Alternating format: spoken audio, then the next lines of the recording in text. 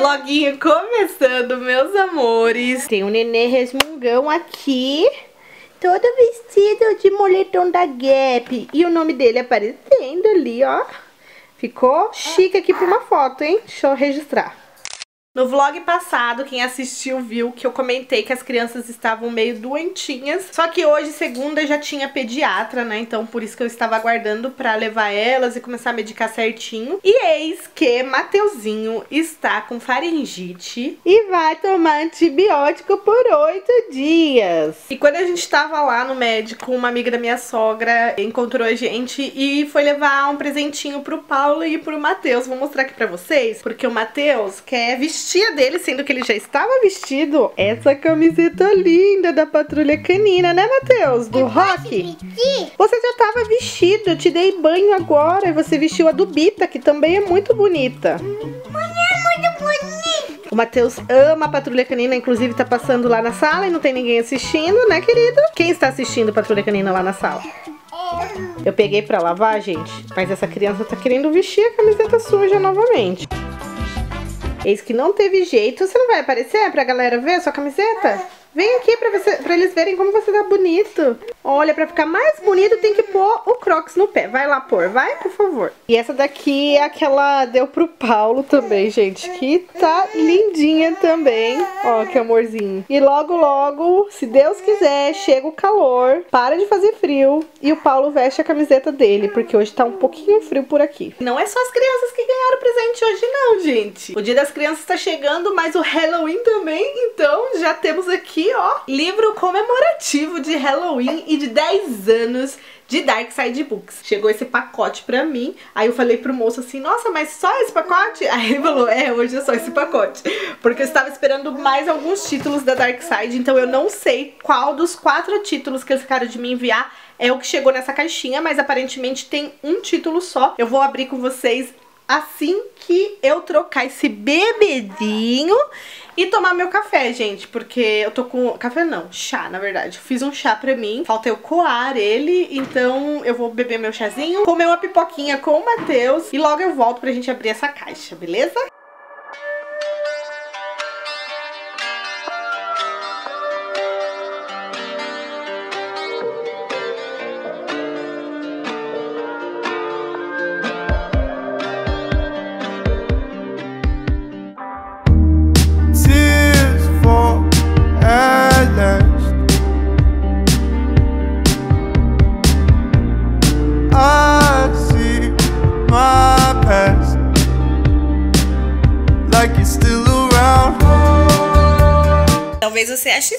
Beber chá e comer pipoca ao mesmo tempo. Só que isso me lembra muito a minha infância, gente. Na época que eu morava em São Paulo, no Taboão da Serra. Isso me lembra quando eu ia pra casa de uma amiga, que chamava Lilia, pra gente fazer trabalho de escola. E lá a gente sempre ajudava ela a arrumar a casa dela, que era uma tarefa que a mãe dela passava pra ela. Depois fazíamos o nosso trabalho. E aí depois, no final do dia, a gente estourava pipoca e tomava com chá de erva cidreira que ela tinha no quintal dela. Então isso me lembra muito essa época. Daí eu dei pipoca de chão. É, você derrubou pipoca no chão, né? Né? Pra você que acha que tudo por aqui é perfeito, não se engane.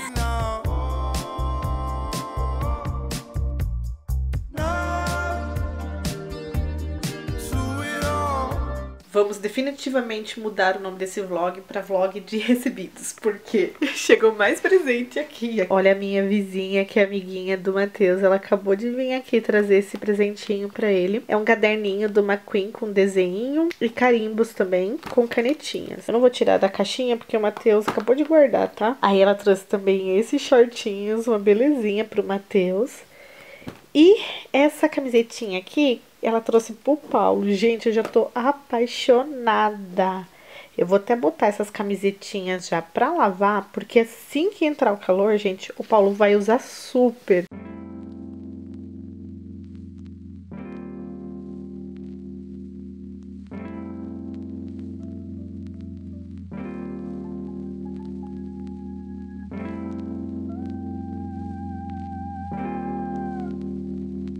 Gente, já fiz um monte de coisa, já botei o pijama aqui pra deitar porque eu estou exausta, exausta mesmo. Mas eu levantei uma enquete lá no Instagram se vocês queriam o unboxing aqui mesmo no vlog desse pacotinho que chegou hoje da Dark Side ou se vocês queriam um unboxing só sobre o pacote, né? E como é um pacote pequeno, eu acredito que não veio mimo nenhum, acredito que é só o livro mesmo, mas não que isso seja pouco, gente, porque os livros da Dark Side são assim já um mimo. Mas como vocês votaram a maioria pra abrir a caixa aqui no vlog, eu vou abrir então de uma vez por todas. Eu adoro a forma como vem bem embaladinho os livros da Dark Side, vem em caixa sempre. E essa fita aqui, ó, é tipo uma fita de papel, ela também tem uma linha nela, né? Então ela reforça bastante o pacote. Mas bora lá, vamos abrir isso daqui sem muitos rodeios.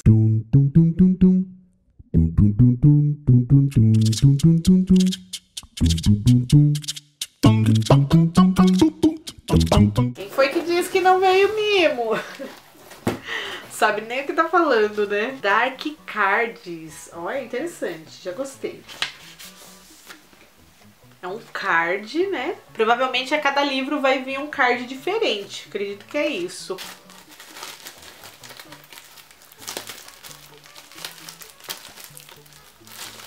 Nossa, que dificuldade pra tirar.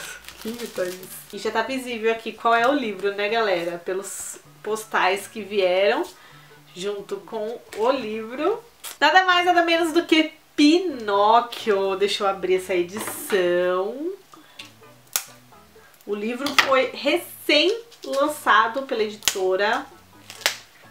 E também tem filme aí, gente. Saiu live action, né, agora, de Pinóquio. E aí várias editoras estão fazendo várias edições diferentes do, do livro, né?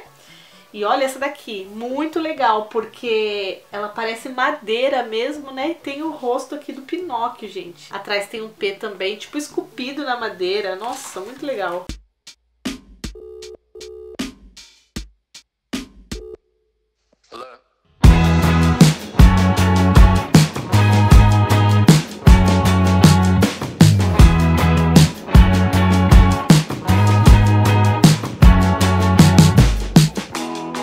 In the backyard of your old farm in the summer. Stayed there for three weeks where we learned to love each other. Wrote you letters, sent a message to the that day. Skip to the present, haven't been so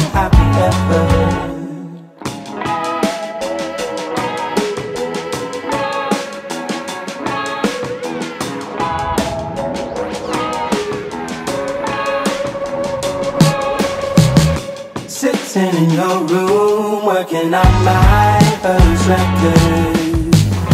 Skip to the present, está lindíssimo, gente, coisa mais linda, maravilhosa mesmo. Então, assim, tem histórias que são clássicos aí da literatura que eu agora nem penso em investir mais em outra edição. Eu espero a Dark Side lançar, né, se é que já não lançou, porque agora com as Fábulas Dark e também com o selo Clássicos Dark, gente, a Dark Side está arrasando, arrasando mesmo nas edições, sabe? E assim, é aquele livro que você quer ter na estante, na sua coleção, quer ler, quer pegar, quer sentir cheiro, quer folhear. Falando em cheiro, isso daqui tá com um cheiro maravilhoso. E é isso, gente. Em breve vou vir também com o vlog de leitura e espero também assistir logo o live action. Eu assino a Disney, não sei quando vai estar no, no, no aplicativo, mas espero que entre logo para eu poder assistir.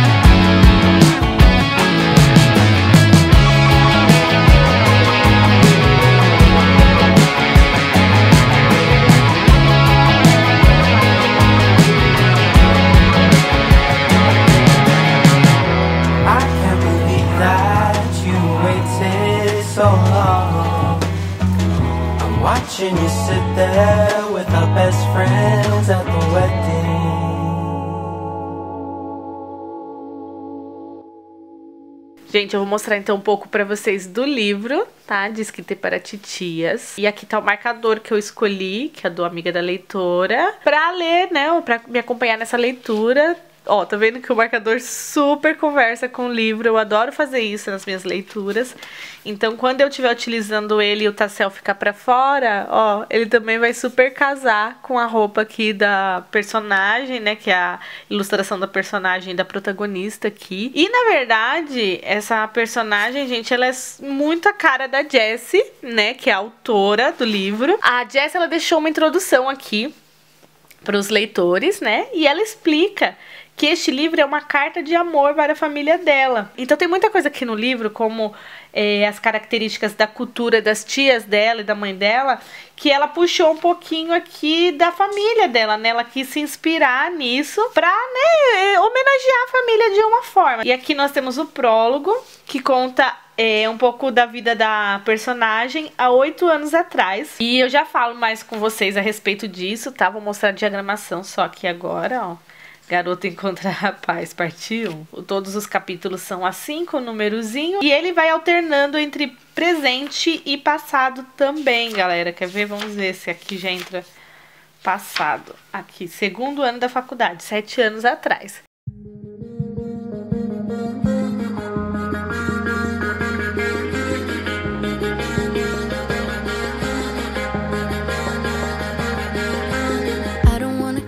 I just wanna stay at favorite robe tonight, I'm partying alone, yeah. Feriadou por aqui, quarta-feira com cara de domingo, esse dia das crianças hoje. E é isso que eu vou começar a fazer um almoço, galera. Ontem pedimos uma pizza pra jantar, porque foi dia de fazer a compra do mês, então foi super cansativo, mesmo o Lucas tendo saído mais cedo do serviço ontem. Hoje eu vou fazer aquele macarrão que eu adoro de forno, que vai requeijão, vai queijo, nossa, fica bem cremoso, uma delícia. Mas eu já mostrei pra vocês em outro vlog, então eu não vou pôr aqui nesse vlog pra não ficar repetitivo, tá bom, galera? E a ideia hoje é adiantar a minha leitura, né? Já que eu tô em casa bem de boinha hoje, é adiantar a leitura que, gente, tá super legal, tá? Tá bem divertida. Ainda não estou achando aquela coisa hilária que tô morrendo de rir, que é o livro que mais me fez rir até o momento.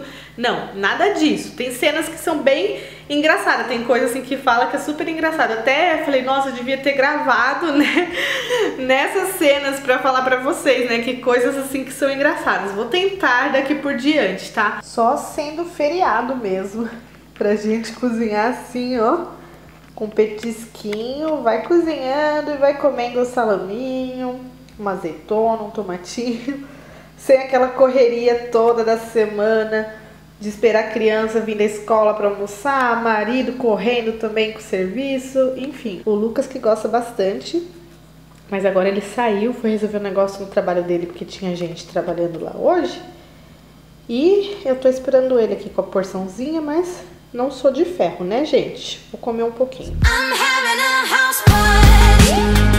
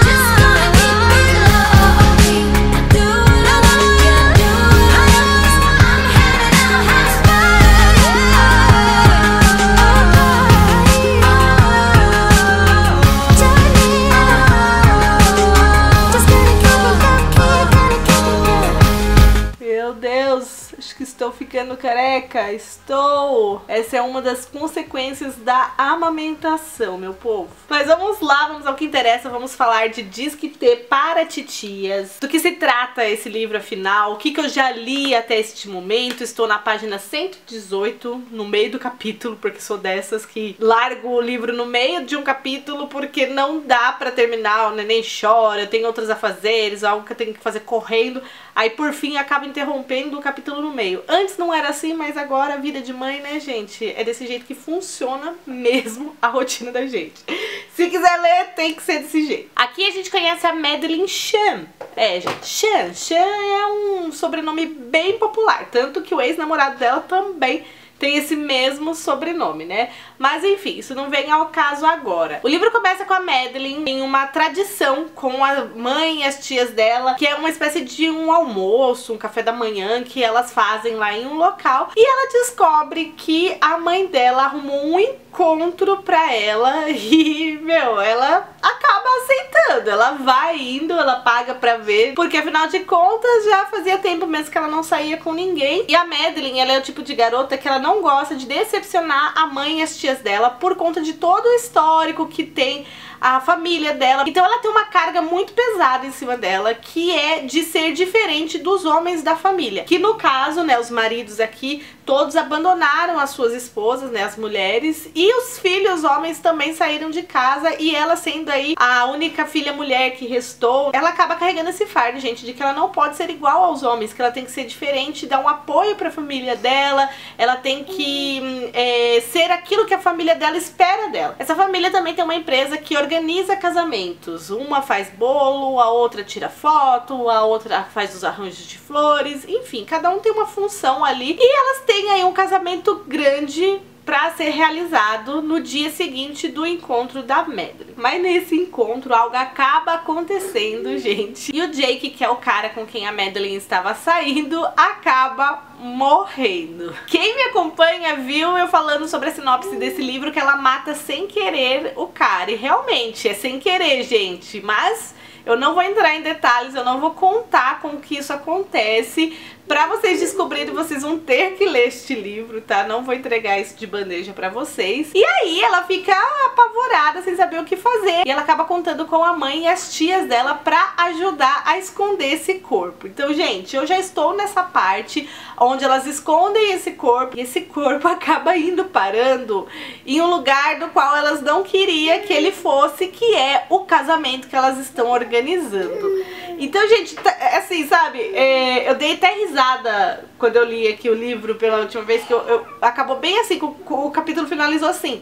é, as coisas não poderiam ficar pior do que isso. E, meu, a pior besteira que você pode falar na sua vida ou imaginar na sua vida é que as coisas não podem ficar pior. O Paulo tá até achando graça da situação, porque realmente, gente, sempre pode piorar, tá bom? Sempre pode piorar. E foi o que aconteceu aqui, a coisa ficou pior. O livro ainda não tá me matando de dar risada. Mas enquanto eu leio, uma coisa ou outra faz eu dar um sorrisinho, né? Tipo, os lábios se mexerem, sorrirem. Outras eu sorrio só mentalmente mesmo, já viu falar nisso? Mas gargalhar alto, tipo, meu Deus do céu, esse livro é cômico, leia ele. Ainda não chegou nesse momento, tá?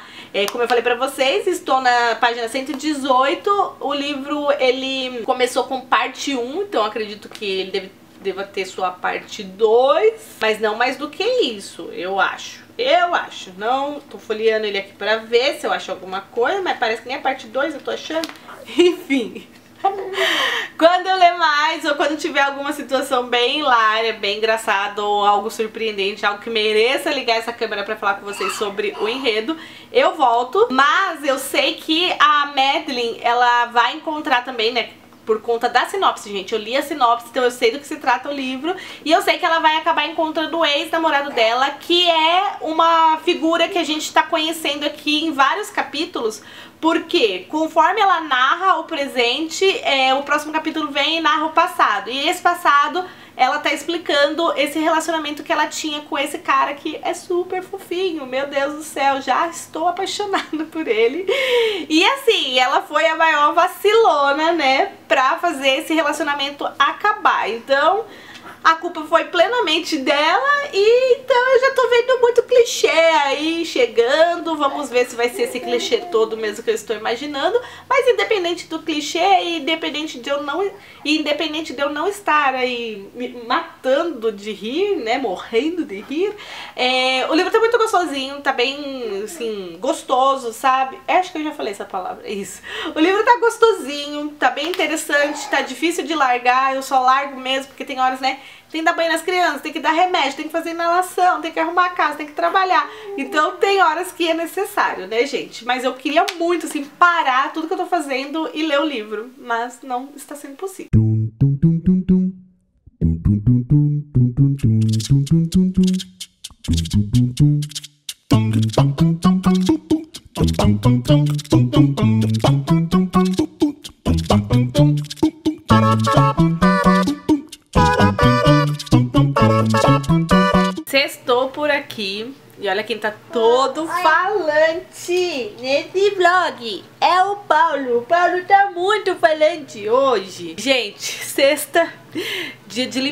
Casa, de fazer faxina e eu estou como?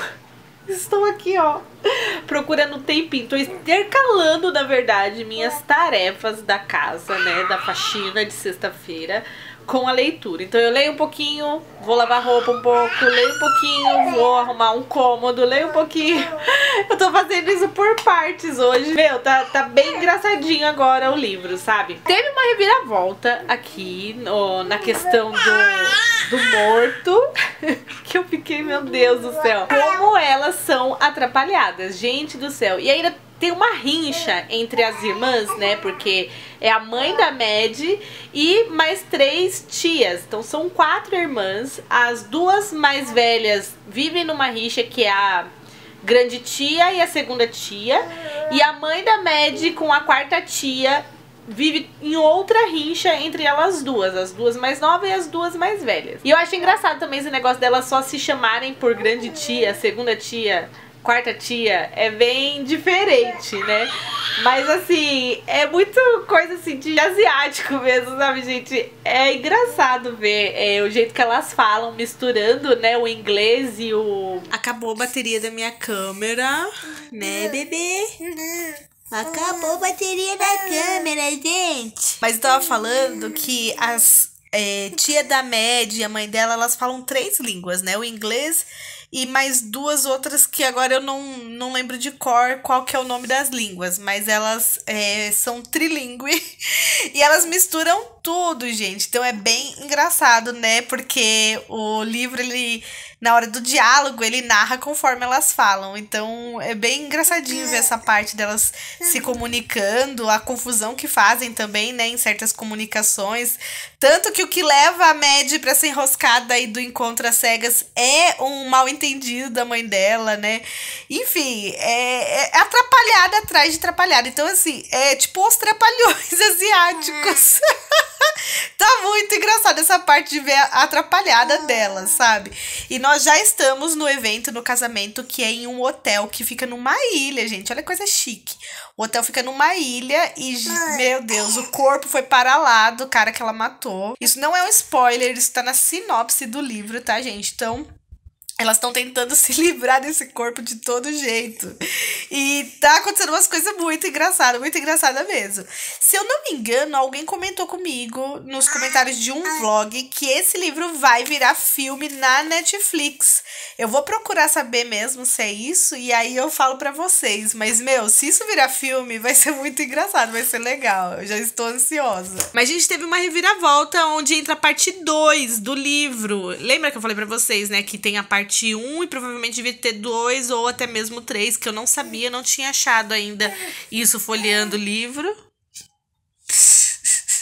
Mesmo com a reviravolta, não deixa de ser um assassinato de uma pessoa, né? Então, assim, eu quero ver onde isso vai dar. Vou continuar então a minha leitura e meus afazeres aqui de casa. Enquanto cuido desse nenê. Dá oi, bebê. Dá oi.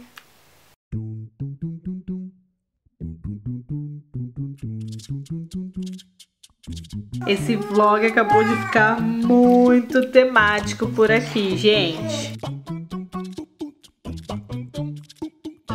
Quem pediu pra comprar sushi? É. Você queria almoçar sushi hoje? Sim.